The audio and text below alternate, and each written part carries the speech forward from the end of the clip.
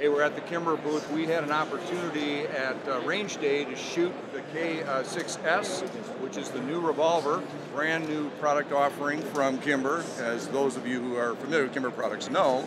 And we're here with Ryan, who's the VP of Sales. Uh, first thing he said is he liked my shirt. National Sarcasm Society, like we need your support. And we come to find out we're kind of brethren in uh, that type of humor. So anyway, we're here to talk about the gun. So uh, Ryan, if you could take us through I mean, shooting it, I was really impressed. I Thank mean, you. It's very lightweight.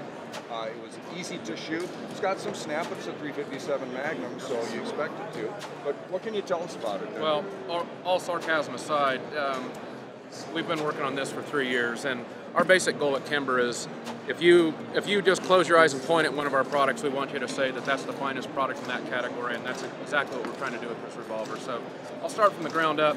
We've got a six-shot cylinder. That's the smallest six-shot cylinder ever in 357 ever made, and it's almost as small as everybody else's five-shot cylinders.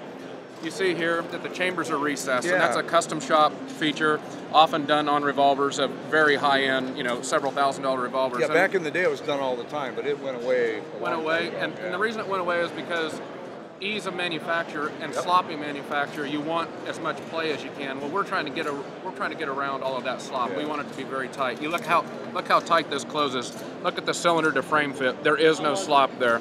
Um, so small cylinder, 357, um, recessed chambers. All the controls very crisp, just like you'd expect on a Kimber. Everything melted. It's all stainless steel.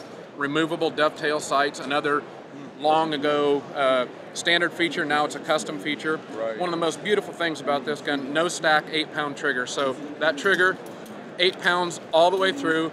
Many triggers on revolvers, as you graph them, they're six or seven, eight, 13, 14, then they drop. You feel a big, and that's why people shoot them inaccurately. This thing steady all the way through, breaks crisp, same place every time. Also, you noted the recoil impulse. Yep. The bore to hand to grip uh, ratio is very low, so the bore sets lower as opposed Right. to our hand to everybody else's. That means recoil comes back like this way. instead of like this. Yep. So Yep. very accurate to shoot. Um, all in all, what, what we hope is the finest production revolver on the market today, um, finished in you know standard Kimber terms, rounded, beautifully Oh, it's, polished. it's beautiful. So Yeah, I mean, it really is a gorgeous gun. What? Um, what's the weight? The total weight on this? 23 ounces. It's all Okay. stainless steel. Yeah, 23 ounces, very, very light, uh, very controllable. It is a very nice grip. I've got medium size hands, um, and I have no issue with this whatsoever. Uh, it is an internal hammer. It is an internal hammer, and shrouded so- internal hammer. Yeah, so shrouded internal hammer. So again, you're not going to have to worry about snags or anything when you're holstering it. Um, the fit and finish, as uh, Ryan said, is impeccable, which is what you expect from Kimber. Uh, the lockup is very tight. Everything works the way that you would expect it to, and uh, I was very, very impressed with how this shot. Um, what is the availability on this now?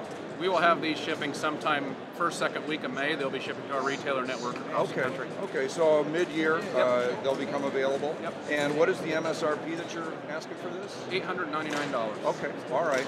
Uh, I will say I've shot a lot of small frame revolvers and I've shot a lot of small frame 357s, and I was very impressed with how this gun shot. To your point, the trigger makes a huge difference, especially in a gun this size. Yep. And it did. It mattered. It was a very smooth pull all the way through, and I had no issue staying on target with you. Great. So, hey, uh, I appreciate your time. It's the best Kimber revolver you've ever shot. It is. That's fantastic, I hadn't thought friend. of that. Yeah, good job. All right. Thanks so much. Okay, thanks.